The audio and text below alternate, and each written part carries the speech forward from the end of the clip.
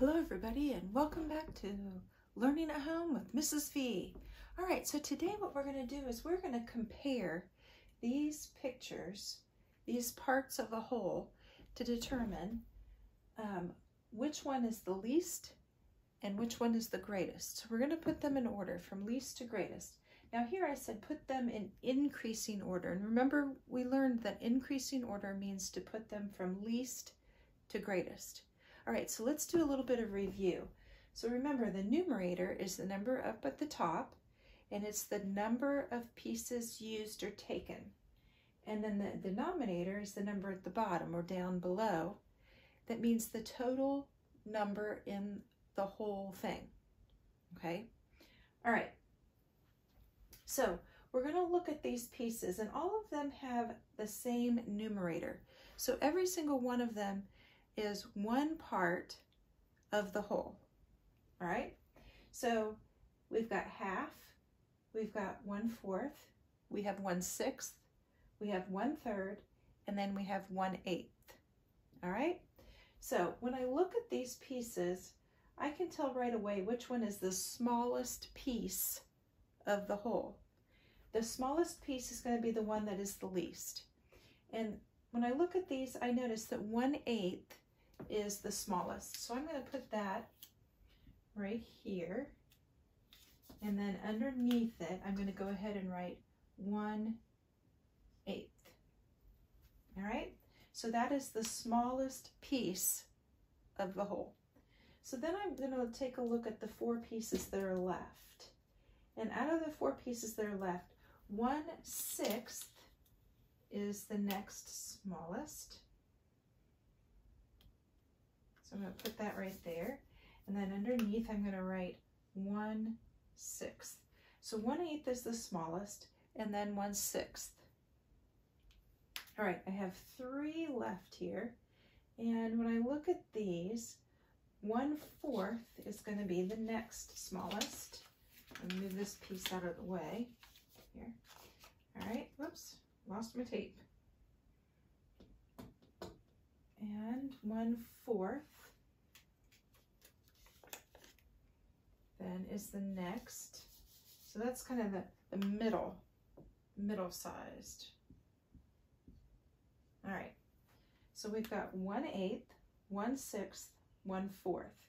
Now we've got two left, and one third is gonna come in next place. I keep losing my tape, so I'm gonna just get a new piece here. All right, so then I have one third would be the next.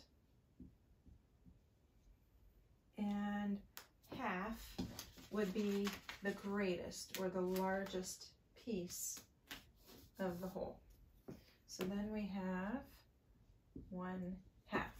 All right, so I'm noticing something about my denominators. Now, because my numerators are all the same, it's um, easy to go ahead and see this and go ahead and make a statement about this. So since each one of these is just one piece out of, so this is one piece out of eight pieces. So if I were to draw that, it would look like this. And here is actually the whole thing with one piece taken out. Now here, there's the whole thing. And cutting this into six pieces, one, two, three, four, five, six. And here is one piece, so slightly bigger. Then here, when I draw the whole, and that's not very even. There, that's better. There's one fourth. And here's one third. And you can notice the sizes when you draw the whole thing. You notice, you can see that the pieces are gradually getting larger. And then this one, we've got that amount. So when you actually draw the whole thing, and this is a little bit smaller, so let me redraw this one because I want it to be about the same size so you can get a better idea of what I'm talking about when I tell you this next thing. That's a bit better. Okay, and you can see that this is slightly larger. All right, so what I'm what I'm noticing is the more pieces there are in the whole, if you just take one of them, you're getting a smaller piece each time. So here, you're getting a great big amount. Okay, so like if that was a pizza and you were eating half of it, you're getting quite a bit of the pizza. All right, one third, you're getting a little bit less of the pizza because now instead of two pieces, there are three pieces and you're only getting one of the three pieces. Here, you've got four pieces. You're only going to get one of the four pieces. So you're getting even a smaller amount, okay? And here, one-sixth, you're getting the, there's even smaller pieces and you're only getting one of them. Here, one-eighth, you're getting a smaller amount. So each time you're getting a smaller amount, as the number of pieces, as there's more pieces in the whole, when you only get one piece, you get a small amount. So the denominators, when there's more pieces,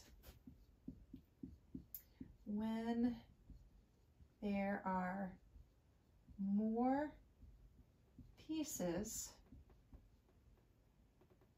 in the whole pizza, the pieces get smaller. Okay, so when there's more, as the denominator gets larger, the bigger the bigger the number in the denominator, the smaller the pieces are. Hmm. Okay. All right, and this is kind of a, a picture representation of that. And then this is putting them in order from least, or the smallest piece, all the way to the biggest piece of the whole, okay? And remember when we had, I'll show you where I got this from. Remember when we had the whole thing and we put the pieces on there and we were determining equivalent fractions. Well, now we took those pieces to determine um, uh, comparing them from least to greatest. Okay? All right. So remember, numerator and denominator, the number up at the top and the number down below. The number at the top tells us how many pieces are taken. The denominator tells us how many there are in the whole. Now we've determined with the denominator, the larger the denominator, the smaller the pieces. So we don't want a pizza with 100 pieces because you're going to get only a little sliver. We would rather have maybe fourths or even halves because then we would get more amount of the pizza or the pie or whatever we were sharing. All right? All right.